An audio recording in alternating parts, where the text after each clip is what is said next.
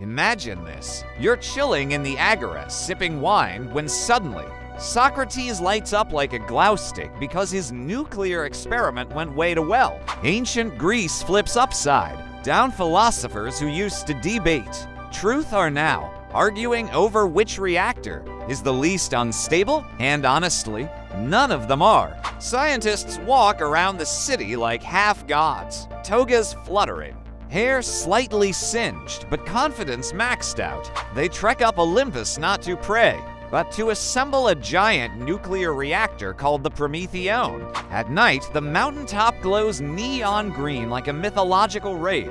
The people? Equal parts amazed and terrified. The statue of Athena now has a control panel. The Oracle of Delphi. Yeah, she's the Radiation Research Center now. Then one night, the Prometheon alarm goes off violent, earth shaking, and from inside that blinding cloud of light emerges a tall silhouette. Not any Greek god, but a being claiming it was created by the reactor itself.